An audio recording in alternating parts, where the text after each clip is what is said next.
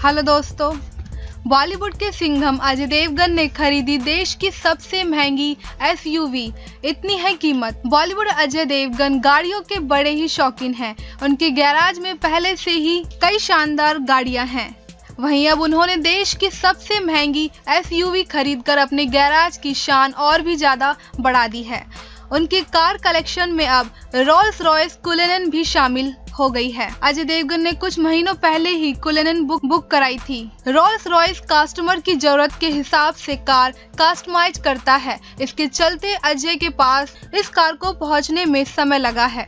हालाँकि अब इसकी डिलीवरी उन्हें मिल गई है। कुलेनन को खरीदना सबके सबके बस की बात नहीं है, क्योंकि इस कार की एक्स शोरूम कीमत करीब सात करोड़ रुपए है। ये इस कार के वेरिएंट का प्राइस है और रोल्स रॉयस कस्टमर की ज़रूरत के हिसाब से कार बनाता है तो ऐसे में कार का प्राइस और भी ज़्यादा हो जाता है। हालाँकि ये देश की पहली रोल्स रॉयस कुलेनन नहीं है। अजय देवगन से पहले मुकेश अंबानी भी ये कार खरीद चुके हैं।